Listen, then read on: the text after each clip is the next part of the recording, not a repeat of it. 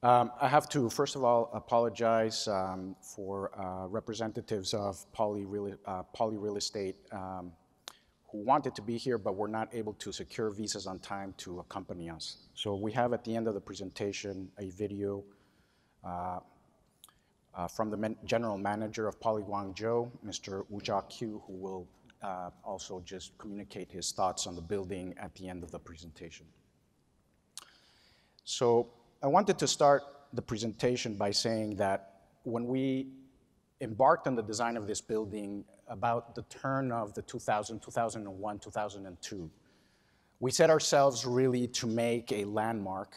Um, and at that time, we played with concepts which today are sort of commonplace. The idea of placemaking, the idea of workplace, the idea of sustainability, and mm-hmm. the idea that a building, a high rise, should actually reflect the culture and the place in which it is built. So, all these words today are commonplace, but back then some of those words didn't even exist. They weren't really part of the currency with which we describe buildings. We have done numerous projects for Poly Real Estate, and I will say also that we attribute some of the uh, many uh, um, uh, things we've been able to achieve to a client that has been willing to take risks with us. So Maverick Buildings really take Maverick clients, and Poly Real Estate really has been a Ma Maverick clients for us. The two buildings, you can recognize Poly Guangzhou in the center, on the right is Poly Beijing, and this is a building that was being designed also out of the San Francisco office. And so we had a team under my leadership designing Guangzhou, and there was another building being designed um, uh, for Poly, same client in, in Beijing. And so there was a bit of a competition between the two teams, very healthy. And I think we set out to do landmark buildings and innovative buildings in both places. The site is in Guangzhou. Uh, Guangzhou has become a really a metropolis, but back in 2001, 2002, it was not the place that it is today. And so presenting innovation and pursuing concepts that are truly innovative back then was a challenge. Many times we had to create real uh, life mock-ups of concepts and ideas that at that time we're well established in the US and in Europe, but not really in Guangzhou. Things have really changed. I think that Guangzhou really has, in many ways, surpassed um, uh, uh, some of our cities in terms of the progressive agenda that some of these technologies actually embraced back in that time. The site was right across from, uh, the Pearl River from the historic center of the town. And it kind of looked like this. So this slide is important for a number of reasons. Number one, it kind of sets the tone of how do you actually make a place and how do you design to a place. One of the things that we try to do is to recognize the characteristics of a site that are really character forming. And in this case, we actually had a beautiful uh, hill with a pagoda on the side and this inlet of water which really came from the river. And so the idea for the whole complex was really to create a place that could bring together the two types of landscapes that could frame the idea of the river and the pagoda coming together. There is a concept in Chinese landscape called borrowing from the scene or borrowing from the distance. And so we learned from those ideas and incorporated these principles into the design of the complex. The other thing that is important about this slide is that Mark Sarkisian, partner uh, of our structural group, is also shown in the right.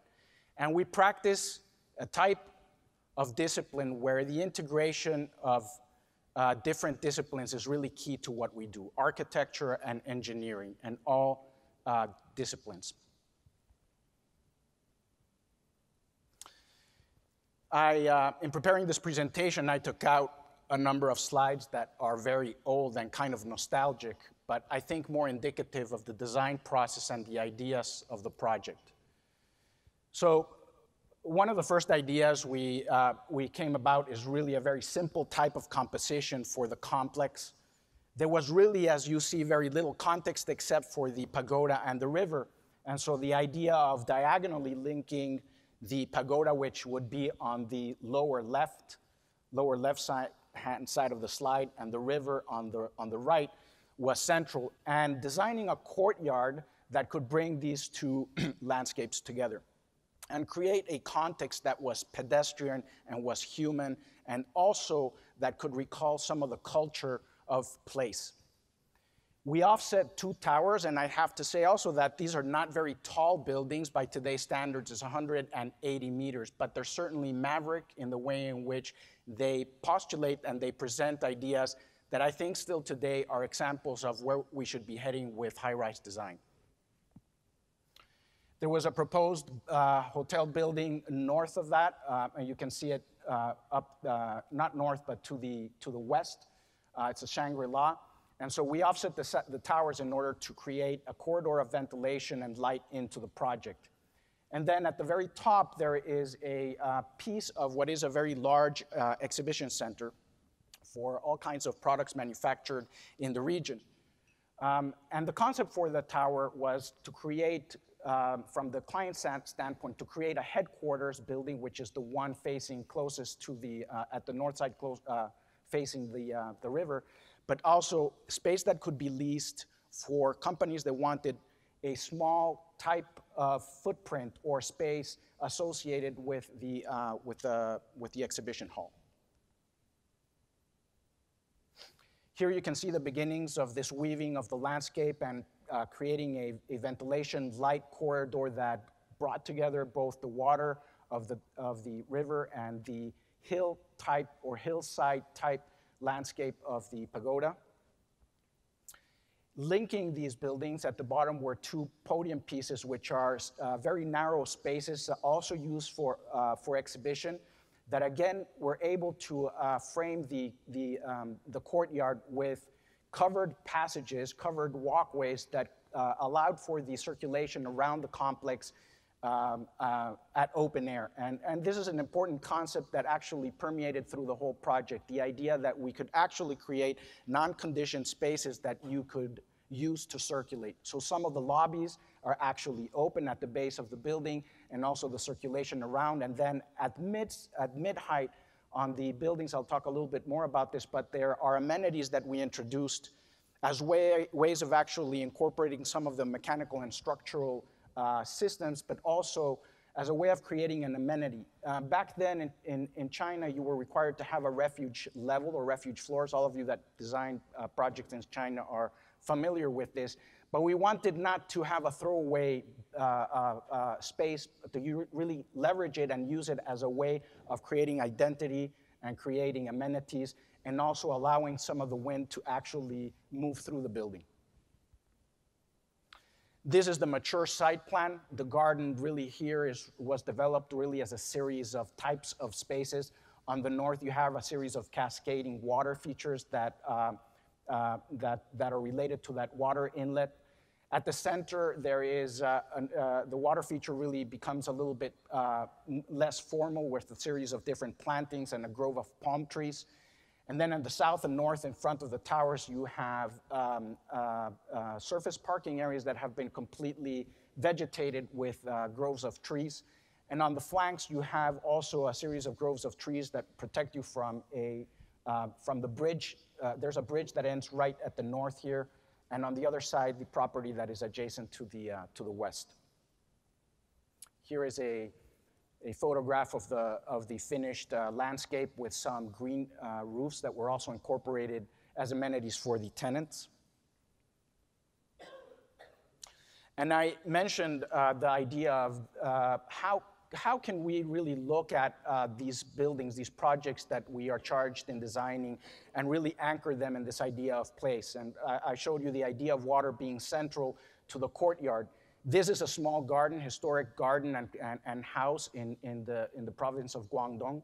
And we were very interested in the idea of water, but also in this idea of the pavilion uh, scale of the buildings around this and the way in which roofs and screens were used as a way to incorporate semi-open spaces into the house.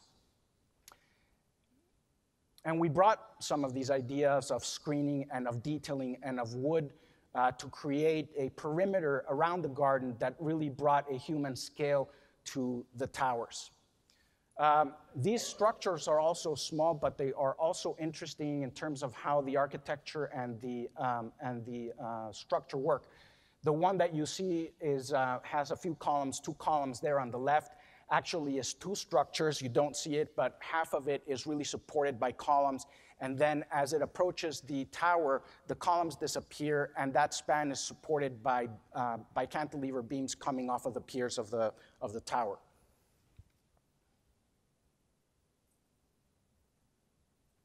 And so it creates a series of layers of scale and materials that humanizes the context, makes a place out of a place that had no identity. So when it comes to the towers, how can we then make a series of towers, design a series of towers that again respond to culture and place? And I think one of the key ideas is to really leverage as much as possible passive strategies and responses to the environment. This anchors our buildings much more firmly in the idea of a particular place. And so these buildings were oriented towards the north. All of the, all of the lease spaces actually have views towards the river. And it's, it's a fairly narrow floor plate, uh, but it is, in terms of its lease span, uh, pretty common. It's about 13 and a half lease span. Uh, but they're oriented north, so all of the faces looking north do not require, in the end, did not require any kind of shading. We were able to use very clear glass. Um, on the east and the west, we brought out the stairs and other amenities, which I will show to protect from the eastern and western exposure. And then we develop a series of layers uh, from the view plate at the north, the lease space, and then a unique structural system that then um, inhabited this space between the lease space and what typically is called the core, although I don't think that core is necessarily the right word.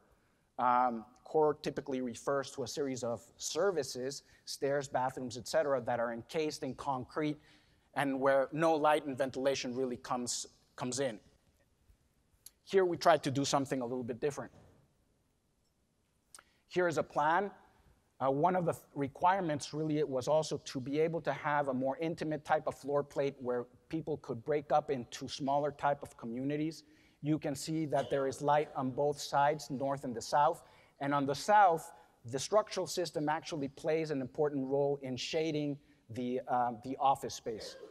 The areas within that spine, structural spine, that are directly adjacent to the space are occupied by, by, by services that need that kind of adjacency, the mechanical systems, the telecom, and the electrical.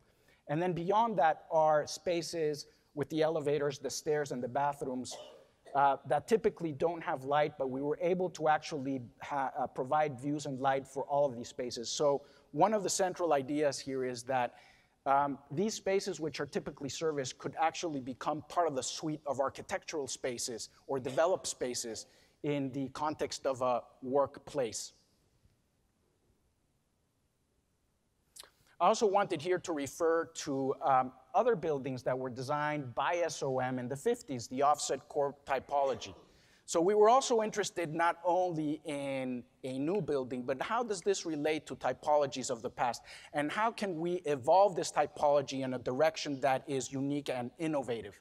And I think that there is still a lot of work to do in looking at typologies that we've developed over the past, learning from them and evolving them in new directions, questioning the typology. This is an elevation of the north plane as I mentioned, we could use very clear glass. Um, and then this feature, which is the central uh, aperture that provided an amenity with some conferencing facilities which are shared for all the floors. This is also the transfer level for the elevators. It is also the transfer level outriggers. I'll show you the structural system a little bit where that, uh, the outriggers actually present itself to transfer loads.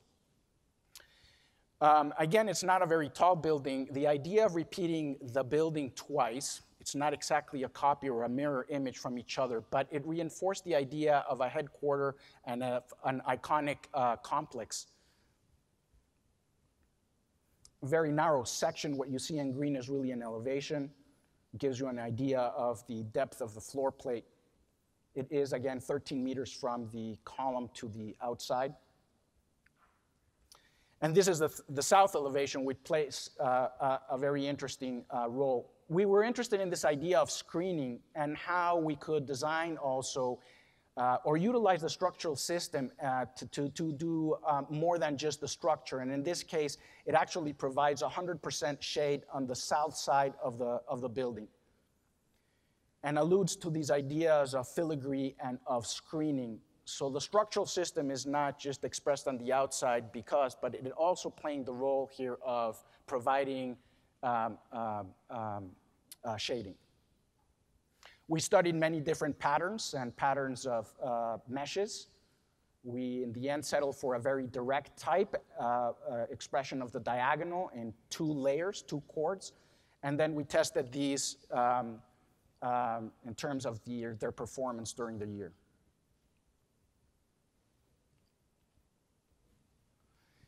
A very quick run through the structural system, which is quite unique and complex. Here is a plan um, at the outer side, we have what's called the end frames. These have these are diagonalized.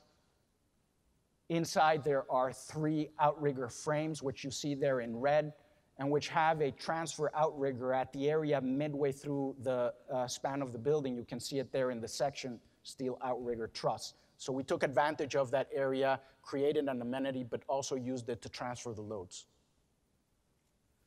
We have three other outriggers, which are simple frames, typical internal frame.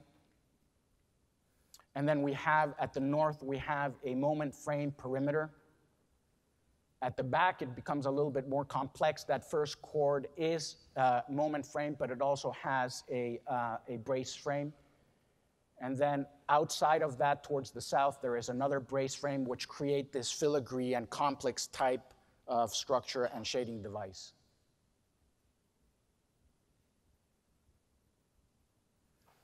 So this is the low-rise plan below and the high-rise plan above.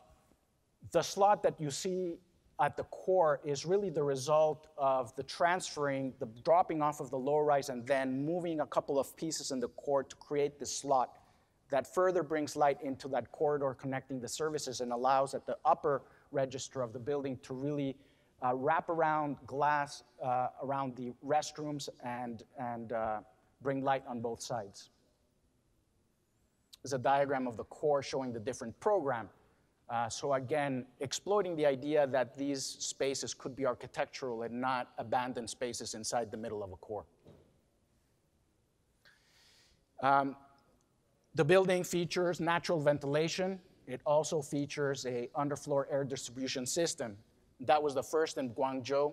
It has glass elevators. Those were the first in Guangzhou back then. Um, and it has a series of other features that, uh, again, talking about sustainability, really were the first.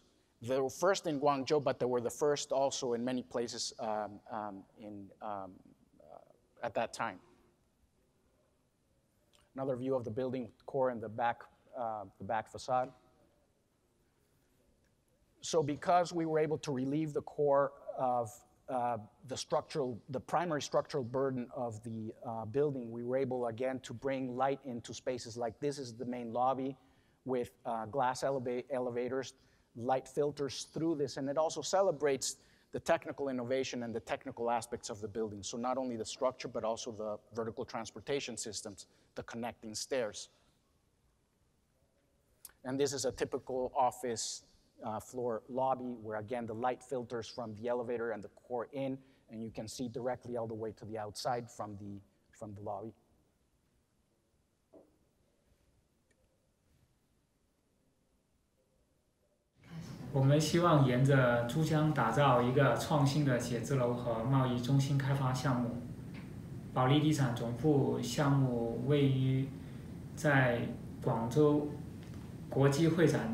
的一个新的商务区。本项目塔楼狭长型的办公楼板将核心筒偏置，可以最大化的引进自然采光。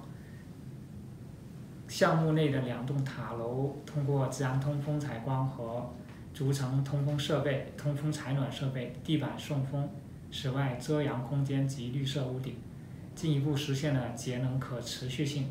这些都是为适应自然，呃气候的必要设计特色。珠三角地区历来是中国活力十足的商贸核心地带，因此江景成为和该项目不可缺少的象征性价值。塔楼的创新设计早就高度开放宽阔的北面视野，还有玻璃电梯、楼梯、呃卫生间和露台都是明亮通透的空间。广州的热带气候适合采用密集和开放组合的绿色空间。项目两塔楼之间的中心地带是一个中抽象的中式庭院。内种各种植物，铺以水景设置，其中一道景观通廊斜向穿越呃那个园林，将项目地块一边处的珠江沿岸和另一端的历史琶洲塔进行串联。天窗上的水景将自然光从花园层汇聚到地下会展空间。塔楼西侧的露台除了作为开放空间外，也起到。遮阳落日霞光的作用。各塔楼正中高度位置的通风露台，让风从三十五层结构中通流通，并作为紧急避难层。这露台层设置了三层高的休闲厅和会议室，是塔楼内的社交枢纽空间。在我们使用这栋楼的十年里面。明亮的办公环境和高效的交通流线助力保利数千员工在这里的健康工作，也见证了保利地产不断迈向高峰，牢牢占据中国地产潜力的卓越表现。SOM 作为我们长期的合作伙伴，在全国范围内和我们保持着密切的合作。北京保利国际广场、珠海海外总部、昆明保利中心等项目遍布全国。今年底，我们即将搬到 SOM 为我们设计的新总部大楼——广州天目塔，期待我们与 SOM 共创城市未来，一起铸就新的篇章。